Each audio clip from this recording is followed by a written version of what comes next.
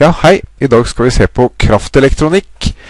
Eh, det skal eh, vi gjøre ved å se litt på et par kretser som er eh, viktige, eller et par anvendelser av kraftelektronikk, og snakke litt generelt rundt kraftelektronikken. Og så skal vi se på noen komponenter som er viktige i en kraftelektronikksammenheng. Kraftelektronikk det er et fagområde som omhandler styring og omforming av elektrisk energi ved bruk av halvledere.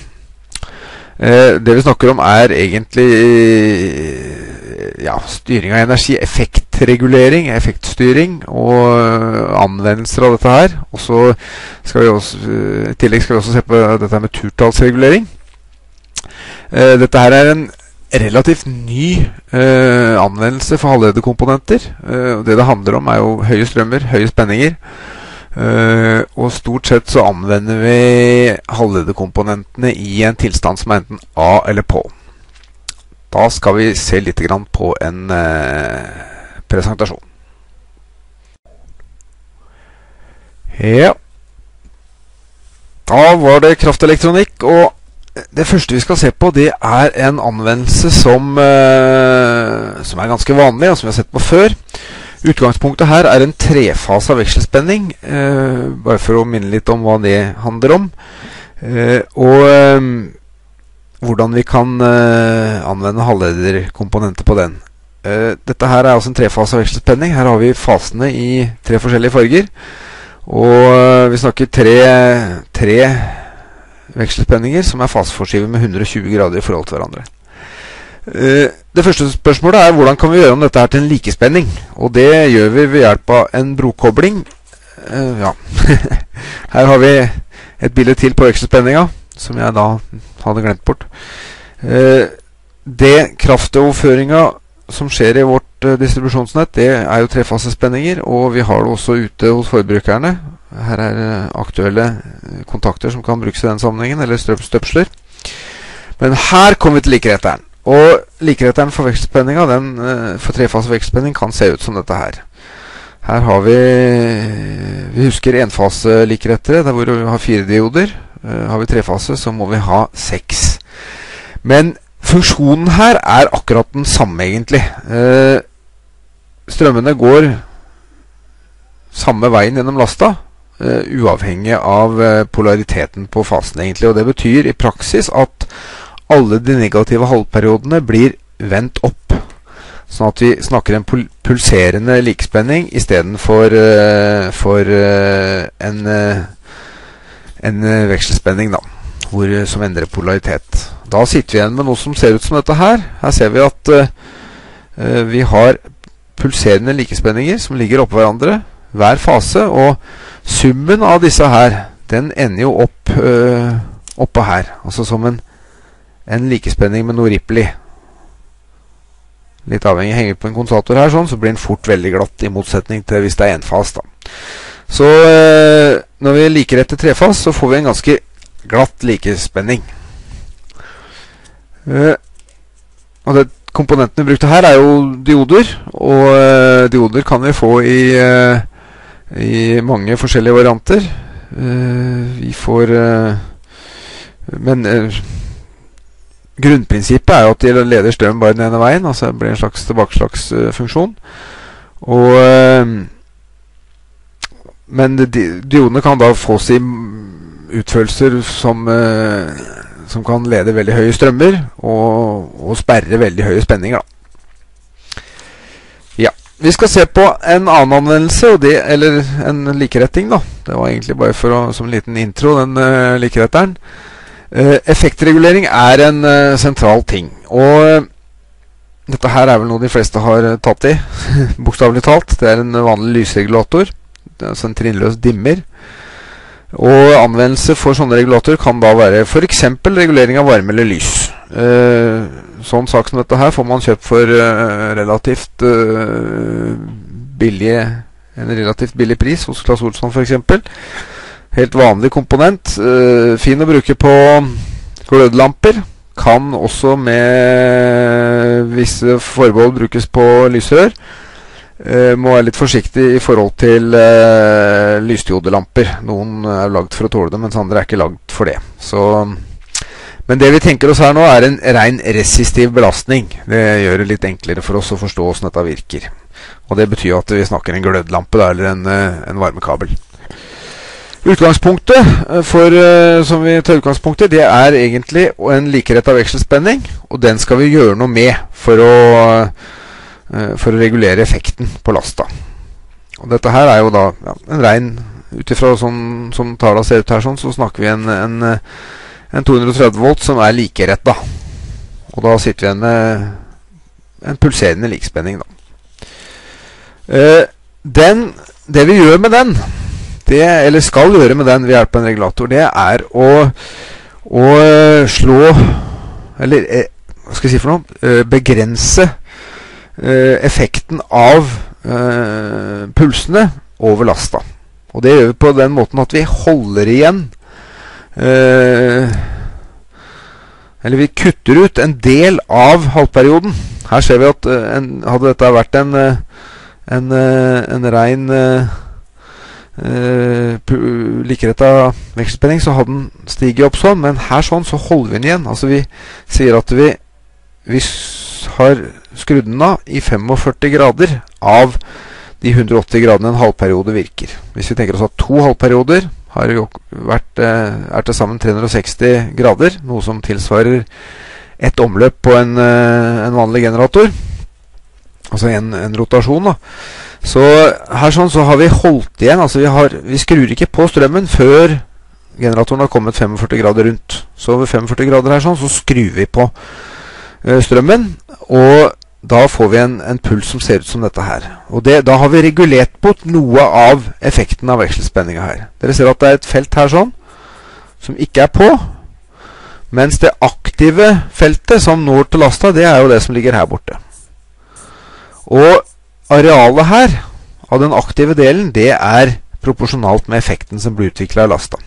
Og Det betyr at hvis vi skjærer bort deler av den kurva her sånn, så får ikke belastningen vår eh, Eller blir ikke utvikla eh, full, eh, full effekt i lasta vår.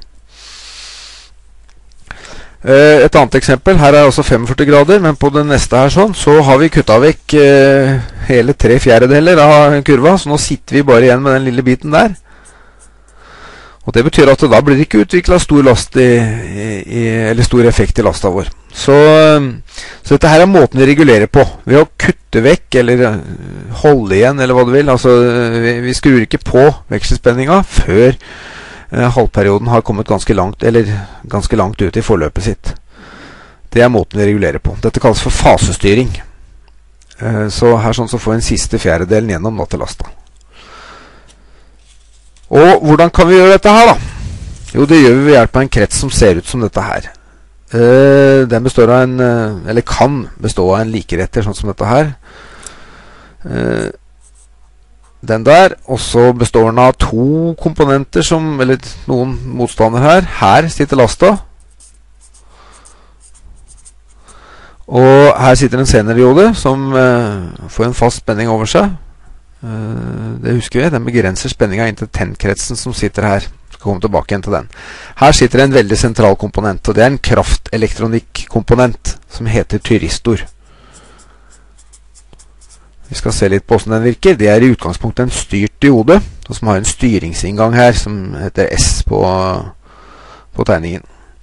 Og den uh, får uh, bli styrt av en krets som sitter her sånn som vi kan kalle for tennkretsen. Den tenner tyristoren, altså skrur den på. Og når den eh, har skrudd på tyristoren, så får lasta strøm gjennom seg. Den tennkretsen har da som sagt øh, Rollen til den er å tenne tyristoren, og det gjør den ved å lage pulser. Skal vi også se på hvordan det øh, foregår. Og den sentrale komponenten her er en litt snål eh, transistor som vi kaller for Uni Junction-transistor. Den har eh, egentlig en ganske grei funksjon, men den ser litt rar ut i forhold til andre transistorer vi har, har sett på. Den har to baser og én emitter, og er tegna med et spesielt symbol. Det som er spesielt med den, er at den plutselig åpner når spenningsforskjellen her mellom emitteren og basen blir stor nok. Når den blir stor nok, så plutselig åpner den, og da skrur den seg helt på. Helt til det ikke går noe strøm gjennom den lenger. Da skulle den seg av igjen. Så, øh, og det, det gjelder nesten alle sånne kraftelektronikksammenhenger, er at vi har komponenter som virker enten, de er enten av eller på. De er ikke aldri halvveis på eller halvveis av, og de regulerer ikke noe sånn, sånn eh, Nivået er ikke, er ikke enten altså sånn halvveis opp eller halvveis ned. Det er enten av eller på. Og det gjør at vi slipper å få effekttap i disse her komponentene, da. Skal vi se. Nå skal vi gå litt inn i kretsen her og se på deler av den, og så skal vi se åssen ting virker. Det første vi skal se på, er tyristoren og hvordan den virker. Det er også en, eh, en eh, halvlederkomponent som kan se ut som dette her. Enten som en liten transistor, ser den ut som, hvis at han ikke er lagd for å tåle så store effekter. Eller større ting som er lagd for å tåle større effekter. Altså kunne switche større effekter. Dette er et switchelement. Virker som et relé på en måte som vi kan skru av på. Så vi skrur på øh, strømmen gjennom den dioden som dette her er, øh, i lederretning ved å gi en styringspuls inn på gaten. Altså styre, eller styreelektroden da, som står her. Uh, og det som skjer, da, den, den, styres ved å legge en spenning på her sånn. Den spenningspulsen kan godt bare være en kortvarig puls, men turistoren den vil tenne, sier vi. Altså han skrur seg på og leder helt til eh, det ikke går noe strøm gjennom den lenger. Eller spenningsforskjellen over eh, tyristoren er lik null. Så du skrur den på, og så blir den stående på helt til det ikke går noe strøm lenger gjennom den. Sånn virker en uh, tyristor. Eller spenninga over den er lik null. Spenningsfallet over den er lik null. Uh, og da er den A helt til han får en ny spenningspuls over seg, uavhengig av åssen spenningsforholdet er over der. Uh, vi skal se etter hvert mer på åssen det virker. Den pulskretsen, da, der har vi klippet ut, uh, eller lagd en liten pulskrets av den som jeg visste på, på den store tegninga i stad. Den genererer altså spenningspulser. Her har vi en tegning av åssen de ser ut.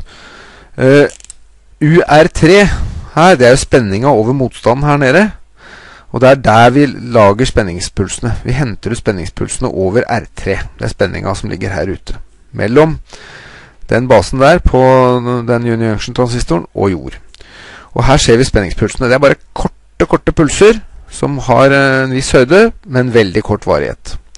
Og dem lages på den måten at vi har en Her sånn, hvis vi ser på denne delen av kretsen, så har vi et, to motstander en variabel motstand og en fast motstand som står i serie med en kondensator. Og så har vi en spenningskilde her borte, da. En likspenningskilde. Den kondensatoren den vil lade seg opp gjennom de to motstandene der. Ladetida den bruker på å lade seg opp, det er jo tau. som er tidskonstanten for den. Den sier noe om tidskonstant for RC-ledd det er eh, altså en gresk bokstav som heter tau, og den er lik R ganger C. Altså motstanden som sitter i serie her, ganga med kapasitansen til transistoren. Og det tau sier, det er hvor lang tid det tar før den kondensatoren har lada seg opp til 63% av full verdi. Det betyr at hvis vi har 10 volt her Full verdi er jo 10 volt, det maksimale som kan lades opp til her. Og når tau ved tau er lik et eller annet uh, sekunder. Når den tida har gått, så ligger det altså 6,3 volt over kondensatoren. Eh, så vi sier at eh, tau, altså tidskonstanten, det er tida det tar fram til 63 av full mulig opplading av den kondensatoren. Vi sier at kondensatoren er fullt lada, det betyr at da står det 10 volt over den, etter fem ganger tau. Så hvis tau er to sekunder, så vil det da etter to sekunder ligge 6,3 volt over kondensatoren. Etter ti sekunder, altså fem ganger to, fem ganger tau, etter ti sekunder så vil det ligge 10 volt over kondensatoren. Da vil det ikke gå noe strøm her lenger, for da er den full lada. Vi skal komme tilbake til hva slags eh, Eller hva det betyr. Det, det i praksis betyr her Her ser du ladekurvene på kondensatoren. De lader seg opp. Kondensatoren lader seg opp. Dette er spenninga over kondensatoren som er målt her borte. Uh, og den lader seg opp etter en sånn eksponentiell verdi. At den blir, går ned her det, det, som skjer her sånn, er at når spenninga her har bygget seg opp til et nivå som gjør at den transistoren åpner, altså junior junction-transistoren åpner og begynner å lede fra eh, midteren her og ned til basen, så eh, når det skjer, så vil kondensatoren lade seg ut gjennom den motstanden her. Dette er en liten motstand, så tidskonstanten mellom eh, kondensatoren her og den motstanden der er veldig liten. Så da tømmer kondensatoren seg. Ladninga i den der, der sånn, den blir lada ut gjennom den kretsen der. Altså utladingsstrømmen vil gå her. I UL. Og når det går en strøm her, så vil det bli et spenningsfall over R3, og det er det spenningsfallet vi ser her. Altså disse her korte, korte pulsene, det er eh, rett og slett utladningsstrømmen eh, fra kondensatoren som lades ut gjennom transistoren her, over den, eller gjennom motstanden her, som skaper spenning over den, som er disse her pulsene som går bortover her. Så kondensatoren lader seg opp til et gitt nivå, den åpner og begynner å lede, og kondensatoren tømmer seg ut gjennom R3 her sånn. Og når kondensatoren er tom, så sperrer transistoren igjen, for det er ikke, det er ikke noe spenningsfall her lenger.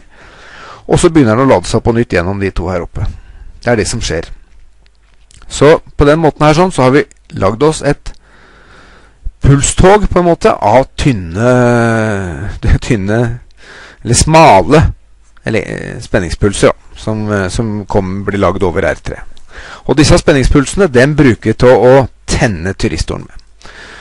De her bildene her oppe, det er jo Juni Junction-transistoren. Uh, bilde av det. Ser ut som vanlig transistor, egentlig. Uh, men har en, da en spesiell funksjon.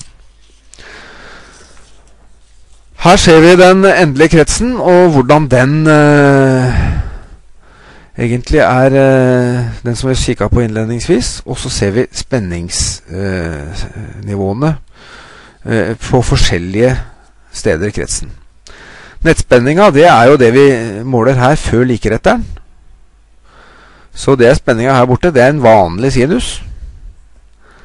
Uh, det, den, uh, det som gjør at det er viktig at vi har med oss den, er at vi uh, At periodene i sinusen dem blir brukt til å synkronisere det som skjer lenger ut i kretsen. Så bak likeretteren her så har vi jo da en likeretta vekselspenning som ser sånn ut. Det er her borte, mellom D og C, eller C og D her borte, så kan vi måle eller se den uh, spenninga der hvis vi kobler på et skop. Over senerdioda vår her så vil senerspenninga begrense hvor stor spenning som egentlig ligger over den. Uh, det betyr at uh, her sånn så ser vi at senerspenninga kutter toppen på den, den pulserende likspenninga eh, som kommer fra likeretteren. Så resten, det som ikke er eh, tegna grått her, den toppen her, det vil ligge over R4. Så du får en spenningsdeling mellom seneren og eh, motstanden her oppe. Så spenninga her blir den skraverte feltet her sånn. Så det blir veldig breie likestrømspulser. Men du har en markert start og slutt på dem fordi at vi har nullgjennomgangene her oppe vil eh, Da, da synker spenninga under sjenerspenninga. Det betyr at spenninga her over sjeneren synker ned mot null. Det som skjer her, da Da får vi jo en likespenning her oppe borte. Og kondensatoren C her, den vil lade seg opp sånn som vi beskrev på forrige Eller for ja, forrige foilen. Kondensatoren lader seg opp gjennom uh, den regulerbare motstanden her. Og når spenninga av kondensatoren blir høy nok, så vil den tømme seg gjennom transistoren og over R3 her. Og da får vi de pulsene som vi så på i stad, over R3. Og de pulsene, den er Spenninga blir jo kobla inn på styringsinngangen på tyristoren, og de pulsene der de gjør at tyristoren tenner. Og Vi ser at når den pulsen oppstår, sånn som det er her nå, så er vi midt på halvperioden, første halvperioden. Og det som skjer da, er at uh, seneren, uh, nei, tyristoren tenner, og, og, og begynner å lede, da. Og da ser vi at spenninga over tyristoren faller. Den går ned mot null, mens spenninga over lasta stiger. Så lasta får spenning, da. Så den første delen av halvperioden den vil du kunne se over tyristoren, mens den siste delen av halvperioden ser du over lasta. Og Det betyr at i det tilfellet her sånn, hvor du, har, eh, hvor du kutter bort halvparten av, av halvperioden, så får du bare utvikle halv effekt i lasta her oppe. Det er tegna som et kryss, og det betyr vel egentlig ei lampe. Så sånn fungerer den reguleringa. Eh, det som vi kan gjøre her, det er jo å endre på den, eh, den regulerbare motstanden her. Og ved å endre på den, så endrer vi tidskonstanten mellom RP og C. For tidskonstanten her, den er jo lik RP til enhver tid, altså hva den måtte være innstilt på, ganger med C, kapasitansen i kondensatoren. Og det du gjør da, det er egentlig å flytte tenntidspunktet for uh, Altså uh, Da vil den begynne å lede før eller seinere på halvperioden, og turistoren vil tenne før eller seinere. Så du kan flytte tennpulsen enten nærmere her ved å øke motstanden, nei, ved å minke motstanden, altså korte ned tidskonstanten, eller øke den og flytte den bakover på halvperioden. Så på den måten så kan du styre hvor mye av halvperioden som slipper gjennom til lasta. Så sånn virker en sånn eh, regulator, altså. Det fins eh, varianter av dette her, og, og turister har kanskje noen vært borte og sett åssen de virker, og det, det, det virker også.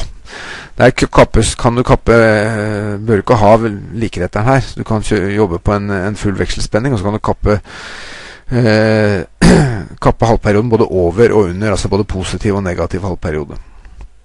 Så det er eh, fullt mulig. Så det, er, det, er mange varianter av dette, men den, denne kretsen her er basert på en turistord, og den vil uh, fungere. Hvis man ville hengt lasta her ute isteden, mellom A og B der, og så kortslutta over HI der, det er også mulig. Uh, på den måten så vil lasta se en kappa vekselspenning isteden. F.eks. En, en vekselspenning som ser sånn ut. Fordi at du er før likeretteren. Så der vil lasta se en, eh, en eh, regulert vekselspenning, rett og slett. Og ikke en, en, en regulert likespenning. Pulserende likespenning. Så det var uh, en uh, sånn type regulator, effektregulator, basert på, på en en turistorstyring. En kjapp titt på en vekselretter. som også er en kraftelektronikkinnretning. Den kan f.eks. se sånn ut, og den kan du få kjøpt på Biltema for relativt billig penge. Eh, den kan du plugge inn i sigaretterne på bilen din, og så kan du hente ut eh, Der har du jo 12 volt likespenning. Så kan du hente ut 230 volt fra stikkontakten her. AC. Eh, titte litt på åssen den virker. Den kan f.eks. se ut som det her. Dette er en veldig gammel løsning. Men bare for å, for å se litt på funksjonen. Eh, den blir ikke brukt lenger, altså. Men eh, det som er gjort her, da Her har du en, en likspenning inn. 6 volt i det tilfellet her. Den blir hakka opp, altså gjort pulserende ved hjelp av et relé som står og switcher fram og tilbake, fordi at det er kondensatorer her som lader seg opp og lader seg ut, avhengig av hvor, hvilken stilling relé står i. Det gjør at strømmen gjennom sporen her på transformatoren, altså primærsporen, den vil bli hakka opp. Og når den blir hakka opp, så vil trans transformatoren magnetisere seg. Og det blir Så den blir magnetisert opp og ned hele tida, og da vil du få uh, indusert spenninger på sekundærsida. Og den kan du også da transformere opp ved å legge inn et uh, passende uh, omsetningsforhold mellom spolene i transformatoren. Og du kan hente ut 220 volt nei, vekselspenning her borte. Så hakke opp likespenninga, kjøre gjennom en trafo og hente ut vekselspenning på den andre sida. Dette dette er en elektromekanisk løsning. Jeg veit at den ble brukt i bilradioer i gamle dager. Hvor man hadde rørradioer som trengte høye spenninger. Det tror jeg ikke vi trenger lenger. Så uh, den blir nok ikke brukt lenger. Pluss at det her, dette her virka jo Altså den, den, der blir jo ganske fort sliten, da. En, det er når han skal stå og klappe inn og ut i ett kjør. Så, men for å forstå prinsippet, så er det en, en, eh, en grei uh, løsning å se på. Dette kan vi også gjøre elektronisk. Da bruker vi en, eh, en krets her som rett og slett bare er en taktgiver som lager pulser.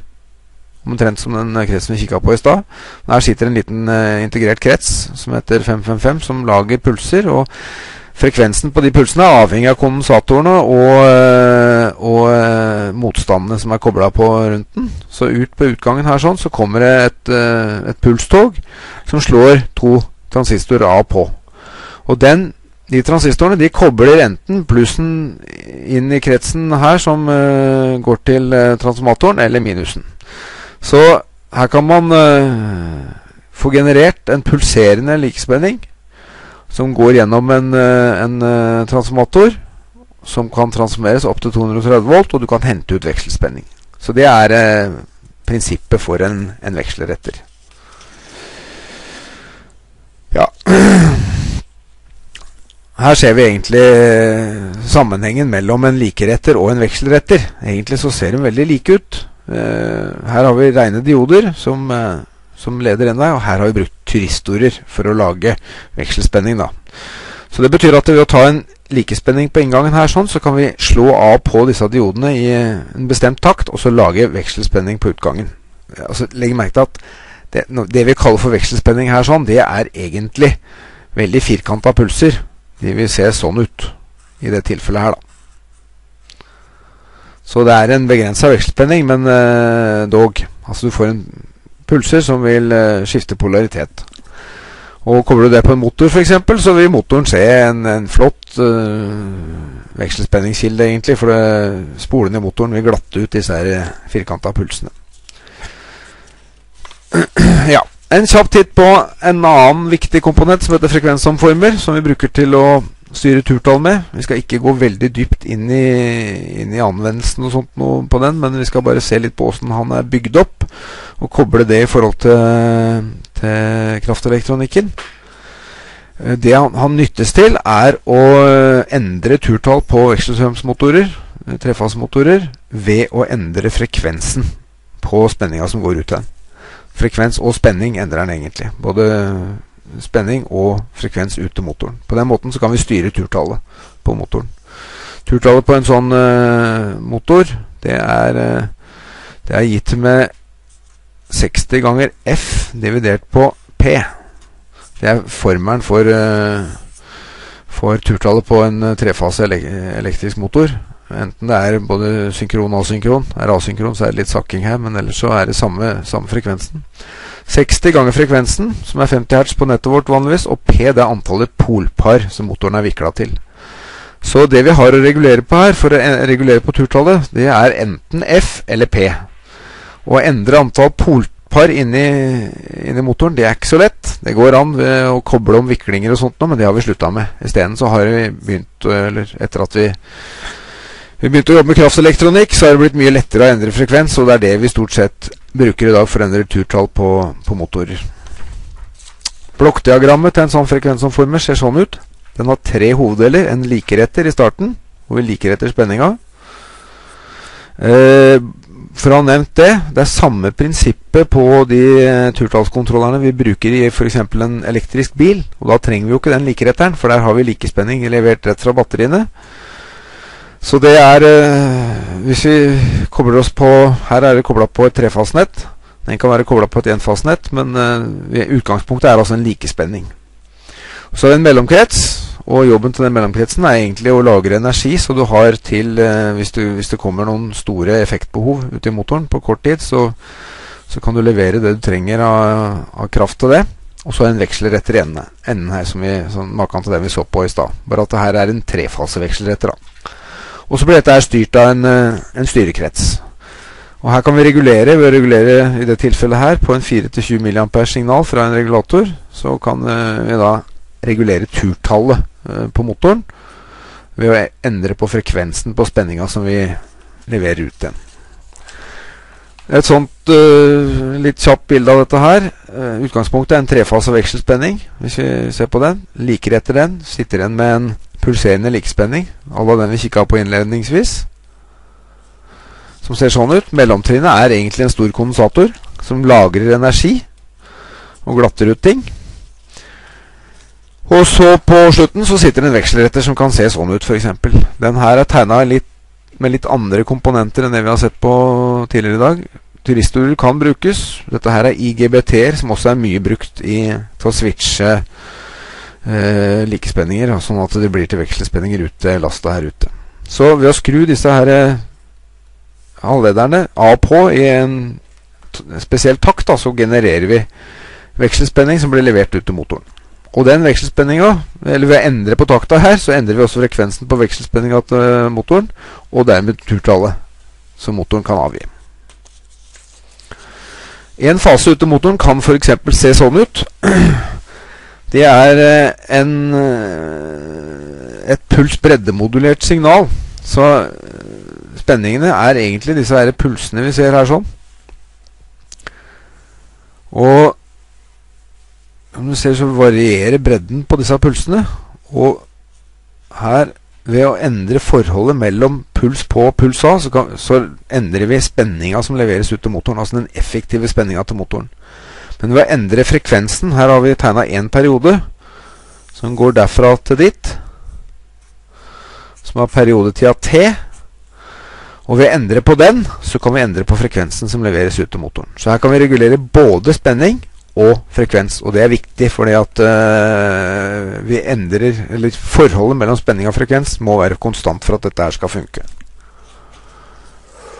Ja, det er sånn som vi ser her. Når vi når opp til merkespenning for motoren, så kommer vi ikke høyere opp. Uh, eller for, for uh, ja, Hvis er motoren er vikla for 230 volt, så kommer vi ikke høyere opp enn det med det vi gir inn. Og da vil for forholdet her endre seg. Turtallet, eller frekvensen, kan vi øke over 50 hertz, som er eh, ligger her. Eh, det, ved å gjøre det, så det vi kan oppnå ved å gjøre det, da, det er å få motoren til å gå fortere enn 3000 omdreininger, som er grensa for hvor fort en, en sånn 3000 Eller en som er vikla for, for 50 hertz, kan gå rundt. Men eh, momentet vil bli dårligere når vi passerer 50 hertz. Så han blir ikke så sterk hvis vi prøver å kjøre den eh, veldig fort, da. Ja. Dette her er en eh, total tegning av hele frekvensomformeren med alle enhetene. Spenningsforsyning, likeretter, mellomtrinnet med kondensator og vekselretteren i utgangen og motoren her borte. Og spenningene sånn som de ser ut hele veien her.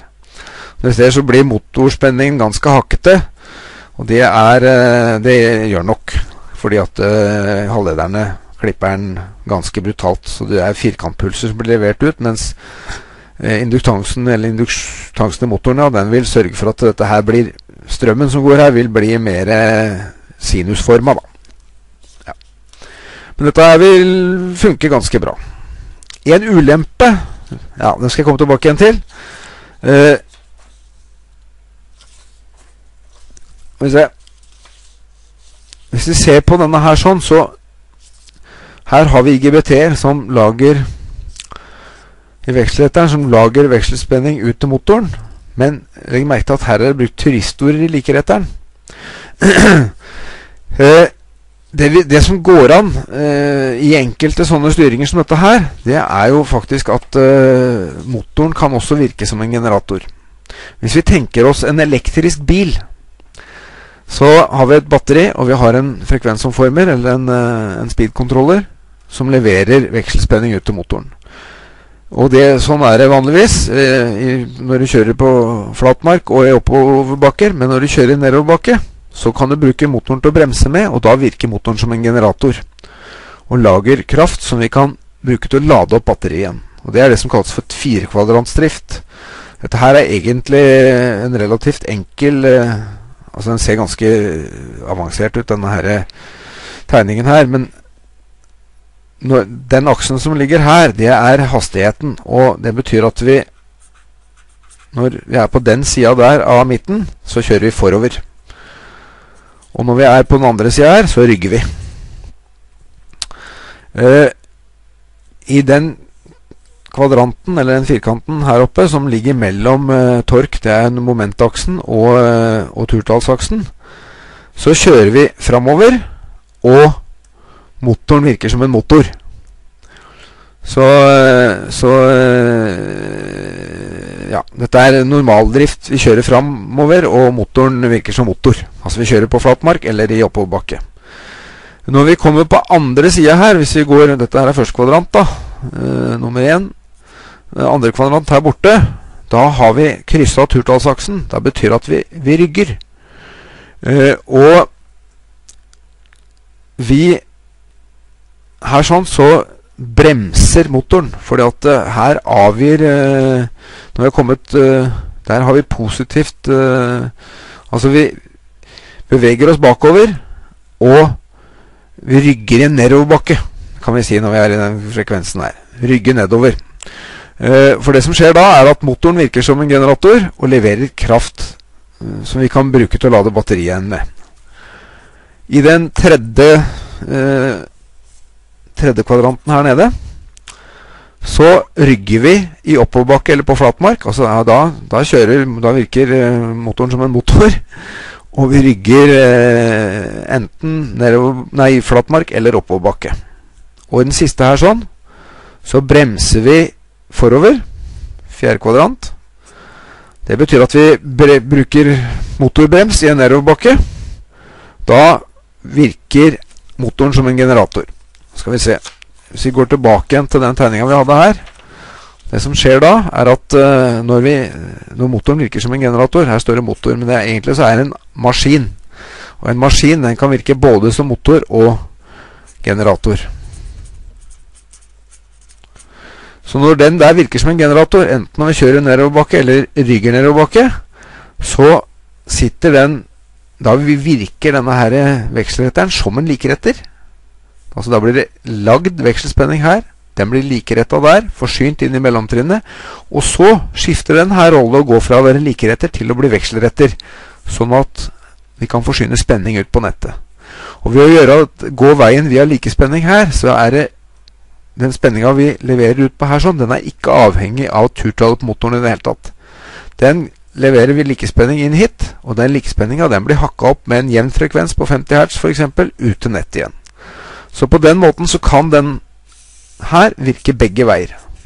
Så energien kan gå begge veier. Enten fra nettet til motoren, eller fra generatoren til nettet.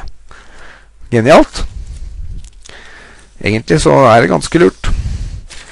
Helt til slutt så skal jeg si litt om noen eh, problemområder knytta til dette her med, med å hakke opp eh, spenninger, sånn som vi driver med i kraftelektronikken.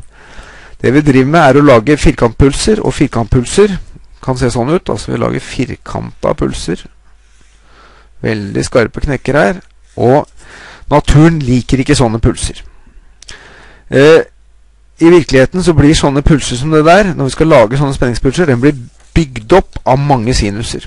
Her ser vi egentlig to sinuser. Vi har en eh, med en eh, grunnfrekvens som ligger her heter F1 på dette her bildet. Det er en grunnfrekvens. Og så har vi lagt på én sinus til, som har dobbelt så høy frekvens. Nei, tre ganger så høy frekvens. Den ligger her. Sånn. Ja, nå bomma jeg litt. Og hvis vi legger sammen de to kurvene, så får vi noe som faktisk ligner veldig på en firkantpuls. For en bølge der oppe, og så går ned, krysser under, og så kommer vi hit. Og hvis vi da legger på enda en med tre ganger så høy frekvens som den som heter Altså tre ganger FN, så blir det tre ganger tre er ni ganger FN. Så vil den summen av disse her, altså den blå, bli enda mer enn firkantpuls. Eh, konsekvensen av dette her er at når vi lager sånne firkantpulser, så lager vi egentlig signaler som har veldig høye frekvenser. Og de signalene de kan f.eks. For forstyrre andre,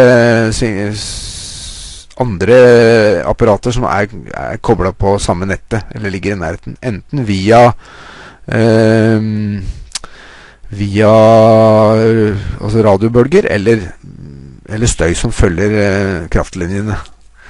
Så, og det, det, får en del uante konsekvenser. Så i kraftelektronikkanvendelser så må det også filtreres for å få vekk eh, overharmonisk støy, rett og slett. Sånn som dette her eh, lager. Og en, en ting man oppdaga da når man hadde begynt med frekvensomformer på motorer, var at det gikk strømmer mellom rotoren og statoren eh, gjennom jernet i motoren.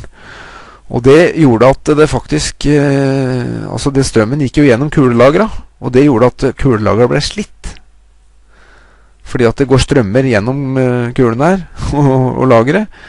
Og uh, lageret ble mye fortere slitt enn uh, det vanligvis ville ha blitt. Så en måte å ordne det på, det er jo å isolere lagra så det ikke kan gå strøm gjennom dem. Det blir også gjort i en del sammenhenger, og så bruker man filterkoblinger for å få dette her til. Sånn, det var en introduksjon til kraftelektronikk. Uh, ja. Lykke til med kraftelektronikken. Takk.